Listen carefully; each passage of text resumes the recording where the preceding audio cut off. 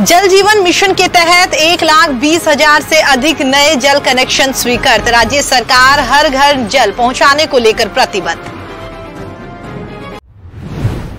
राज्य सरकार जल जीवन मिशन और अन्य जल परियोजनाओं के माध्यम से हर घर जल पहुँचा रही है।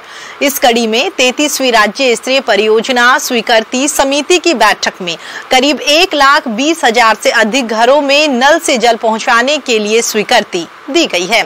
अतिरिक्त मुख्य सचिव, जन स्वास्थ्य अभियांत्रिकी डॉक्टर सुबोध अग्रवाल की अध्यक्षता में हुई बैठक में जल जीवन मिशन के तहत सहायक गतिविधियों के लिए साल 2022 और 23 की 644 करोड़ रुपए की योजना को मंजूरी दी गई। इसके अतिरिक्त करीब एक सौ तिहत्तर करोड़ छियासठ लाख रुपए, water quality and monitoring surveillance की योजना को भी मंजूरी दी गई।